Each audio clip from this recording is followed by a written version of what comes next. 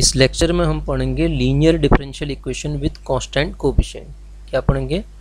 Linear differential equation with constant coefficient linear differential equation with constant coefficient sir पहले दे, समझते हैं कि linear differential equation with constant coefficient होती क्या है? ठीक है? फिर उसके बारे में सीखेंगे हम। Linear differential equation with constant coefficient कहते किसे ज़रा सा मैं इसका डेफिनेशन लिखता हूँ। कहते किसे हैं? उसके बाद हम इसको डिस्कस करेंगे। ठीक है? A linear differential equation a linear differential equation linear differential equation linear differential equation ठीक है? लीनियर की बात कर रहा हूँ। इज़ एन इक्वेशन पहले लीनियर पढ़ेंगे, तभी तो कांस्टेंट कोपिशन पढ़ेंगे। Is an equation is an equation in which in which जिसमें क्या होता है? In which the dependent variable the dependent variable and जैसे आप y बराबर एफ़ एक्स लिखते हैं ना, y बराबर एफ़ एक्स में x इंडिपेंडेंट वेरिएबल होता है और ये डिपेंडेंट वेरिएबल होता है। ये क्या होता है? डिपेंडेंट वेरिएबल तो ये क्या कह रहा है? Dependent variable and its and its उसके डिफरेंशियल कोपिशेंट या डेरिवेटिव कहते हैं। एंड इट्स डेरिवेटिव या मैं डिफरेंशियल कोपिशेंट लिखूँगा या डेरिवेटिव कहूँगा? Derivative derivative appear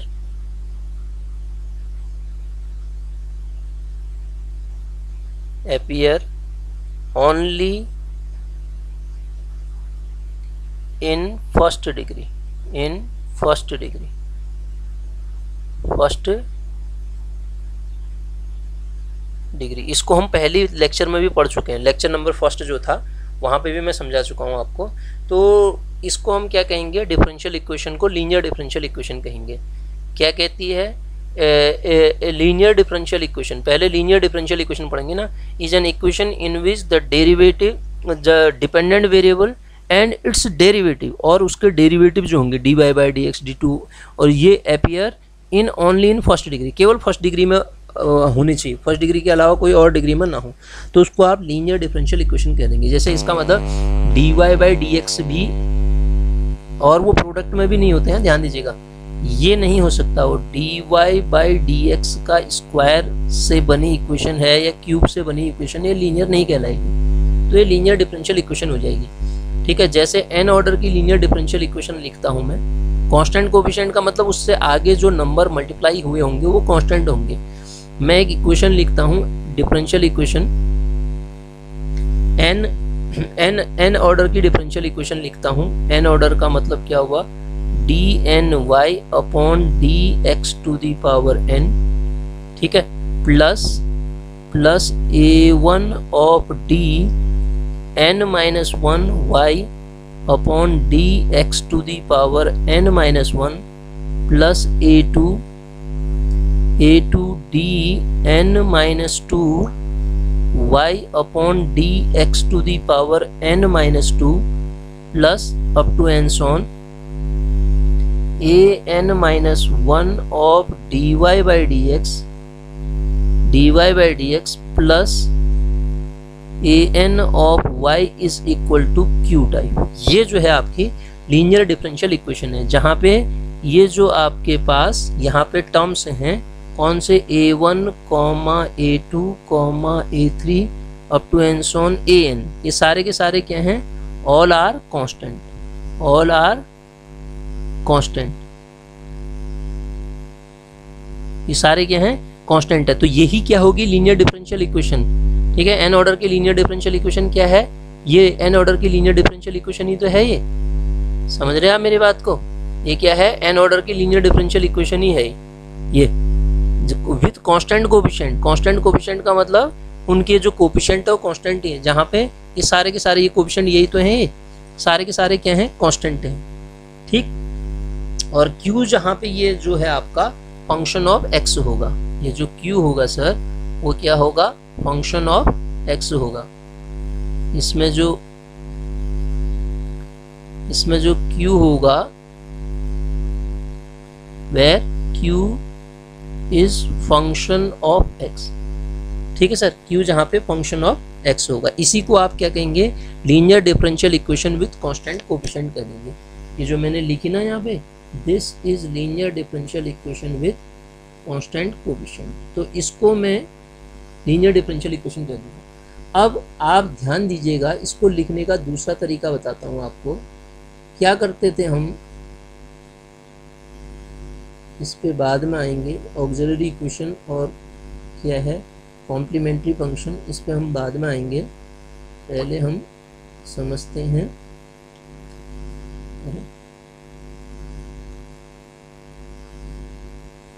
देखिए सर ये जो डिफरेंशियल कोविशेंट होते थे सक्सेसिव डिफरेंशिएशन में भी हमने पढ़ा था। D y by d x जब लिखा है d y by d x तो आप इसको क्या पढ़ते हैं सर?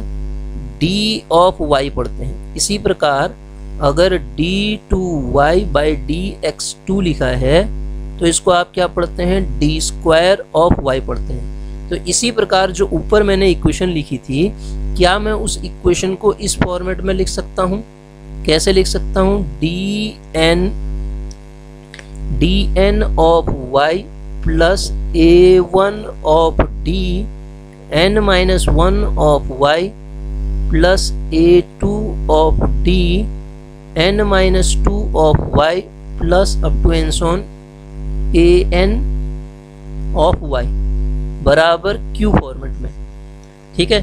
या आप इस पूरे को d n plus a one, d n minus one plus up to n so on a n और बाहर से y बराबर q फॉर्मेट में भी लिख सकते हैं। और यही क्या हो गया sir? This is equal to f d बराबर q इसको मैं इस फॉर्मेट में भी लिख सकता हूँ किस फॉर्म में एफ़ डी बराबर q where q is a function of this this is f d ये क्या हो गया? F d f d of y y को आप बाहर अलग से लिखेंगे। एफ़ डी ऑफ़ वाई बराबर इतना।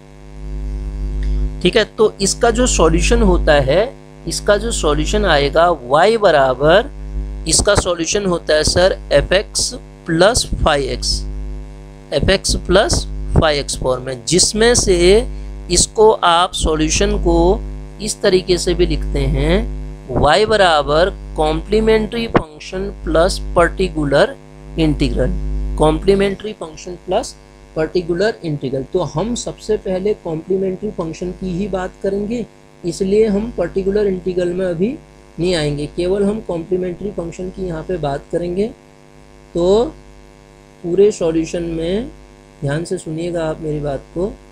ये कॉम्प्लीमेंट्री फ़ंक्शन वाला पार्ट इस क्या आया, कैसे बना उसको हम डिस्कस करेंगे। ये इस y को हम complementary function plus particular integral format में लिखेंगे। तो हमारा सॉल्यूशन जनरल सॉल्यूशन इसका क्या हुआ?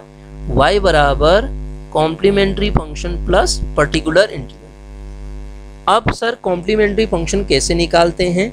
वो सारी बात पे हम डिस्कस करेंगे। वहीं से इक्वेशन निकल के आएगी आपकी ऑक्सिलरी इक्वेशन मैंने क्या कहा? एफ़ डी ऑफ़ वाई बराबर क्यू टाइप की जो डिफरेंशियल इक्वेशन है बिल्कुल बेस से बता रहा हूँ, मैं ध्यान से सुनिएगा। कॉम्प्लीमेंट्री फ़ंक्शन को सॉल्व करने के लिए हम क्या करते हैं, ये एन डिफरेंशियल इक्वेशन बनाते हैं इसको। इक्वेशन अभी तो वो राइट हैंड साइड में क्यू है तो कॉम्प्लीमेंट्री फ़ंक्शन क्या होता है? जो एक कॉम्प्लीमेंट्री फ़ंक्शन होता है, वो पार्ट बनता है मेरा एफ़ डी ऑफ़ वाई को ज़ीरो रख के। एफ़ डी ऑफ़ वाई को ज़ीरो रख के जो इक्वेशन आएगी सॉल्व करेंगे तो उससे हमें कॉम्प्लीमेंट्री फ़ंक्शन मिलेगा। तो हम उसी पे डिस्कस कर रहे हैं f d of y f d क्या था हमारे पास? D n plus a one a one of d n minus one plus a two of d n minus two plus up to n so on a n of बाहर से a n of y is equal to zero zero रख के कर रहे हैं ठीक है? तो ये कित क्या है? एन डिग्री की कोई डिफरेंशियल इक्वेशन है। अब एन डिग्री की डिफरेंशियल इक्वेशन है, इसके एन रूट होंगे तो उनको लिखने का तरीका क्या होगा सर इसके एन रूट हैं। हमने कहा एन डिग्री की इक्वेशन है, वो रूट कुछ होंगे तो इसको मैं किस फॉर्म में लिखूँगा? वो रूट जो आ रहे हैं डी माइनस पहला रूट एम वन हमने बोला, इस इक्वेशन को। दूसरा root d minus m two हमने बोला। Up to n d minus m n ठीक है sir d minus m n of y बराबर ज़ीरो एन डिग्री की इक्वेशन है ना?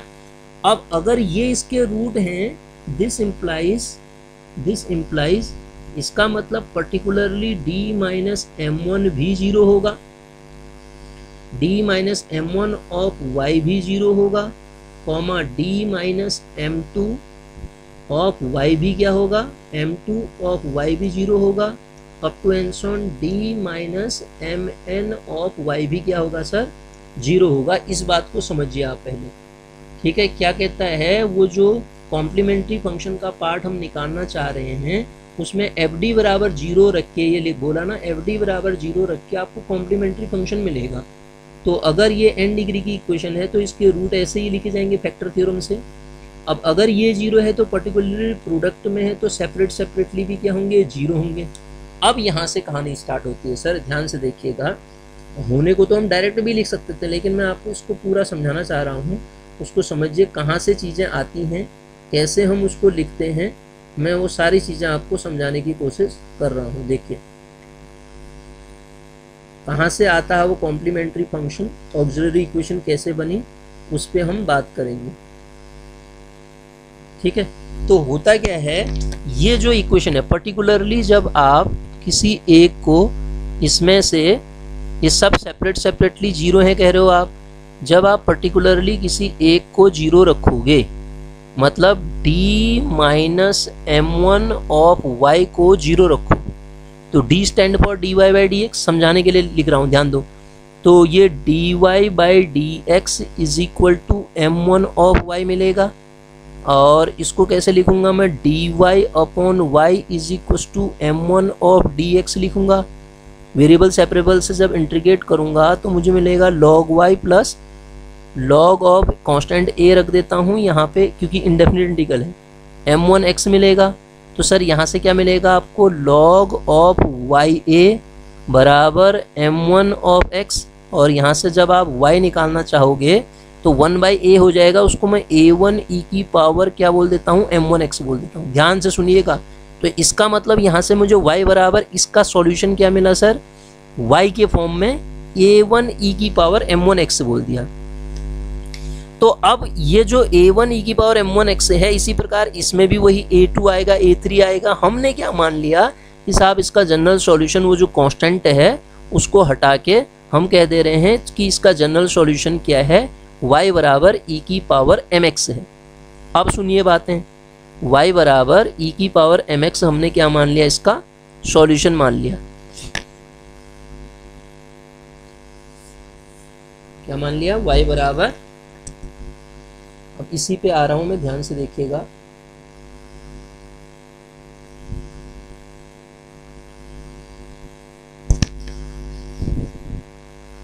डायरेक्ट भी बता सकता था मैं आपको, लेकिन आया कहाँ से? आप अगर पूरा सीखना चाहते हैं तो मैं इसलिए बता रहा हूँ ये चीज़ें।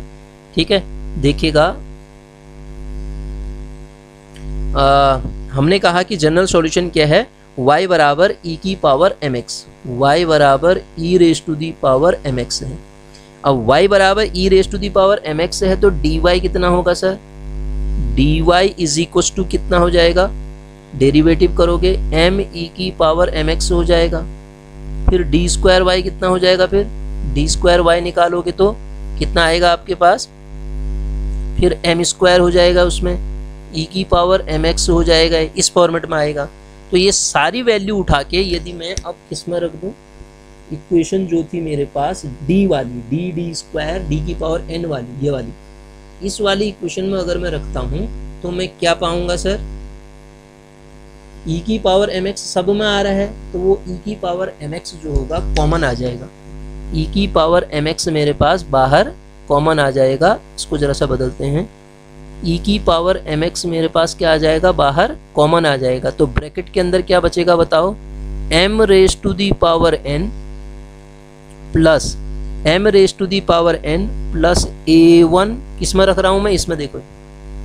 A one m raise to the power n minus one plus a two m raise to the power n minus two plus up to n so on plus a n plus a n ठीक है? Plus a n बराबर zero वाई हट गया पूरी तरीके से। इसको इक्वेशन ए कह दिया मैंने।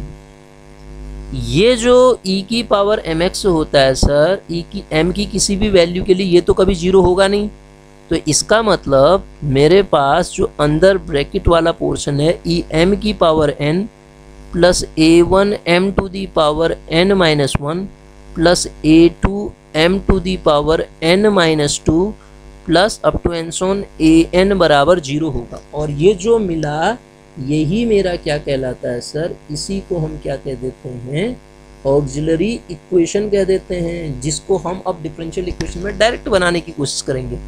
आया कैसे? मैंने आपको समझा दिया, यही क्या कहलाती है? ऑक्सिलरी इक्वेशन कहलाती है। एन डिग्री की इक्वेशन है वाई हटाया मैंने, अब इसके एन रूट आएँगे। एक एक करके हम अब सबको डिस्कस करेंगे।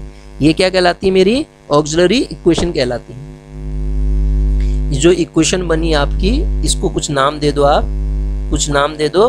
ये, क्योंकि ये तो ज़ीरो होगा नहीं ई e की पावर एम एक्स तो ये ऑक्सिलरी इक्वेशन बनेगी मेरी। ठीक है, अब इसके रूट कितने आएँगे? एन डिग्री की इक्वेशन है। तो इसके रूट आएँगे सर कितने? अगर ये एन डिग्री की इक्वेशन है तो इसके पास क्या मिलेंगे? एन रूट मिलेंगे आपको, देखो। इसके रूट क्या मिलेंगे इस इक्वेशन के? इसको इक्वेशन बी डाल देता हूँ। दिस इज़ ऑक्सिलरी इक्वेशन इसके रूट क्या आएँगे? M one comma m two up to n so on m n आएँगे। अब उन रूट वो रूट कैसे आएँगे? उसके अकॉर्डिंग हम अपने एक एक पार्ट करके डिस्कस करेंगे। वो रूट ये तीन केस जो मैंने नीचे लिखे हैं अब इनको हम डिस्कस करेंगे एक एक करके, ठीक है? पहला क्या आएगा आपके? यदि उस ऑक्सिलरी इक्वेशन के रूट क्या हैं सर कॉम्प्लेक्स नहीं। सबसे पहला, ये तो थर्ड केस है ना? सबसे पहला केस हमने लास्ट में लिख दिया है। सबसे पहला केस ये आएगा। ठीक है, क्या होगा? ये जो रूट आ रहे हैं, इन रूट्स को, जरा सा इसको बड़ा कर देते हैं। If root all root are of all root of auxiliary equation कितने रूट हैं उसके? एन है ना? कैसे बनी वो ऑक्सिलरी इक्वेशन बता दिया आपको। केस फ़र्स्ट कहता है, सारे के सारे रूट डिस्टिंक्ट हैं। यदि वो रूट डिस्टिंक्ट हुए तो सब डिफरेंट हैं। तो जो मेरे पास वो ऑक्सिलरी इक्वेशन बनी थी सर उसको मैं किस फॉर्मेट में लिख पाऊँगा तब? तो उसके जो सॉल्यूशन आ रहे थे, हमने कहा ई e की पावर एम एक्स सॉल्यूशन है। अगर ई e की पावर एम एक्स सॉल्यूशन है तो एम के तो मान आ गए एन एम के मान कितना आ एन मान आ गए। तो उन मतलब वैल्यूज़ आ गई। तो उन वैल्यूज़ को मैं क्या क्या कहूँगा? डिस्टिंक्ट डिफरेंट कह रहा हूँ मैं।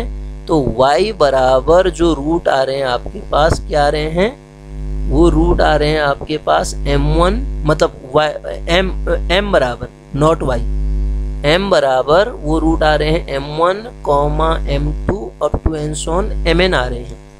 तो ये रूट आ गए तो मेरे पास तब उस केस में कॉम्प्लीमेंट्री फ़ंक्शन जो होगा, y बराबर ज़ीरो को, उसी को y भी कहते हैं, बराबर हो जाएगा e to the power constant c1 भी लग रहा था ना c1 सॉल्व सॉल्व करने के लिए हमने e की पावर mx लिया था। कांस्टेंट भी तो आ रहा था e c1 e की power m1x plus c two e की power m two x plus up to n so on c n e की पावर एम एन एक्स ठीक है सर? तो ये मेरा सॉल्यूशन हो जाएगा। जैसे अगर मैं आपसे बात करूँ कि माना कोई इक्वेशन दे रखी है आपको इस तरीके की। किस तरीके की? एक इक्वेशन लिखता हूँ यहीं पे, समझाने के लिए। मैंने इक्वेशन लिखी d minus one d minus two d minus three और बाहर से वाई पूरा फैक्टर करके मैंने बता दिया, बराबर ज़ीरो। ये डिफरेंशियल इक्वेशन थी, इसको मुझे सॉल्व करना था। तो सबसे पहले मैंने इसकी ऑक्सिलरी इक्वेशन बनाई। वो ऑक्सिलरी इक्वेशन भी इस फॉर्मेट में बनेगी। डी को एम रखेंगे। एम कैसे रखेंगे? ऊपर वही तो समझा रहा था मैं। डी एम माइनस टू और एम माइनस थ्री बराबर ज़ीरो। तो यहाँ से एम के मान आएँगे। वन टू थ्री तो कॉम्प्लीमेंट्री फ़ंक्शन कहूँ या मैं इसको वाई कहूँ, कैसे लिख दिया जाएगा?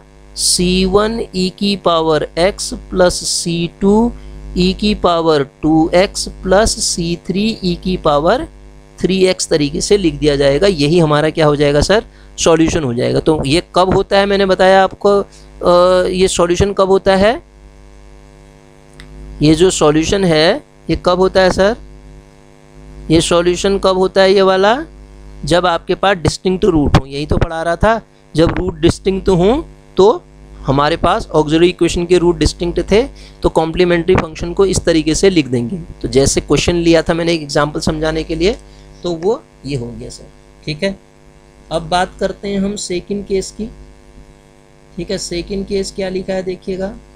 अगर रूट क्या हो रूट कुछ इक्वल आ जाए ऑक्सिलरी इक्वेशन है इक्वल रूट इक्वल रूट का मतलब हो सकता है दो रूट इक्वल आ जाएँ, हो सकता है तीन रूट इक्वल आ जाएँ, वो डिपेंड करेगा क्वेश्चन जैसा है, उसके अकॉर्डिंग रूट भी आपके इक्वल आएँगे। तो हम बात कर लेते हैं, जब रूट क्या है सर इक्वल है। तो जब रूट इक्वल हैं, मान लेते हैं m1 बराबर m2 बराबर एम कोई दो रूट इक्वल हैं।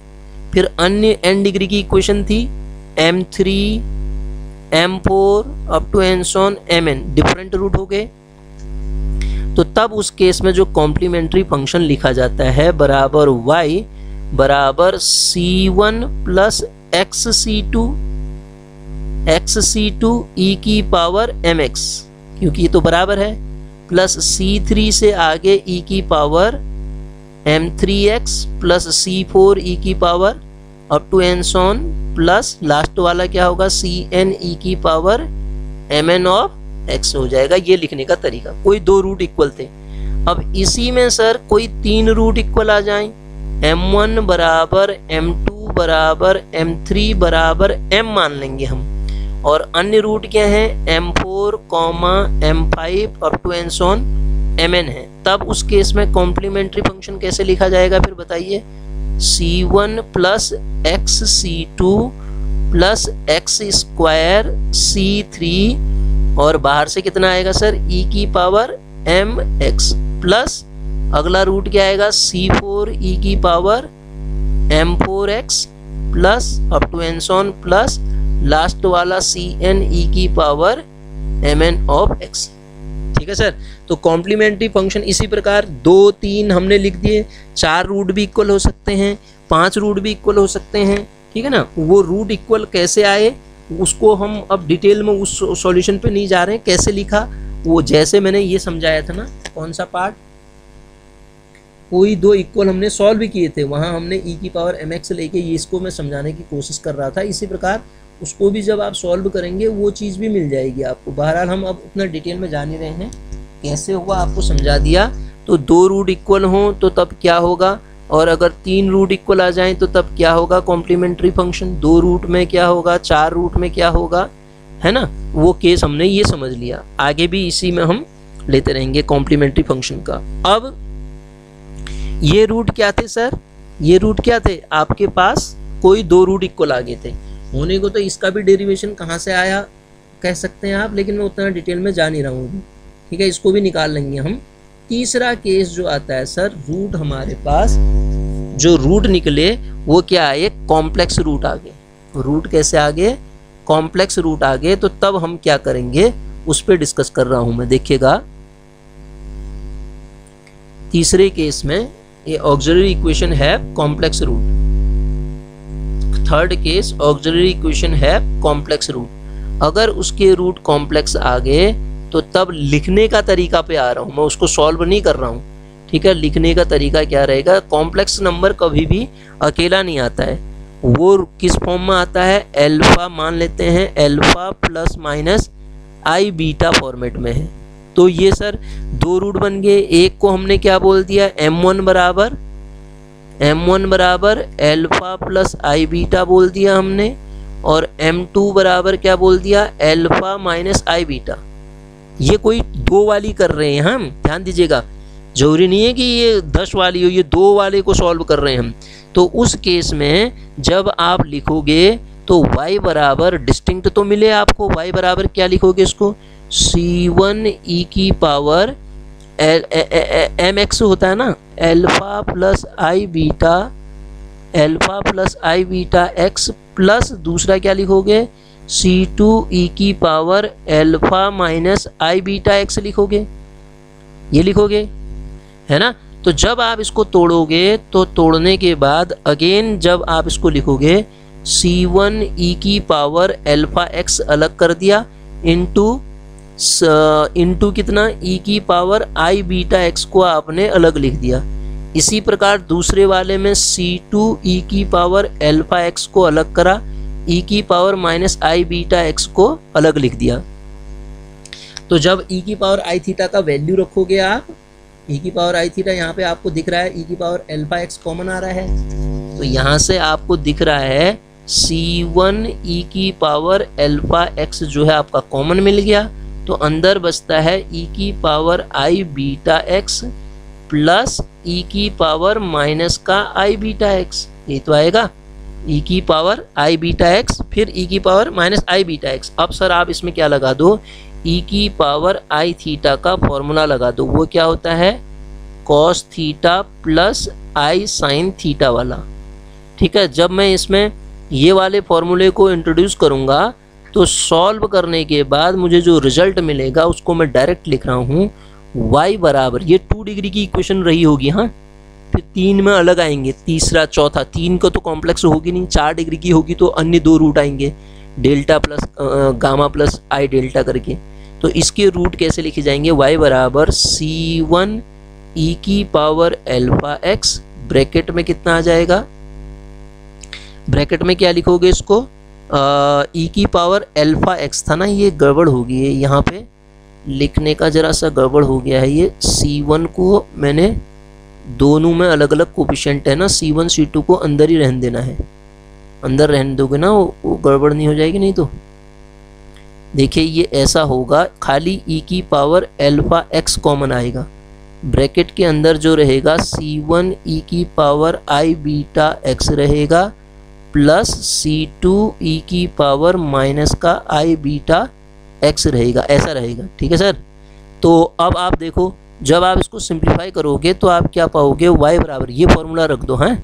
प्लस के लिए इतना, माइनस के लिए माइनस हो जाएगा।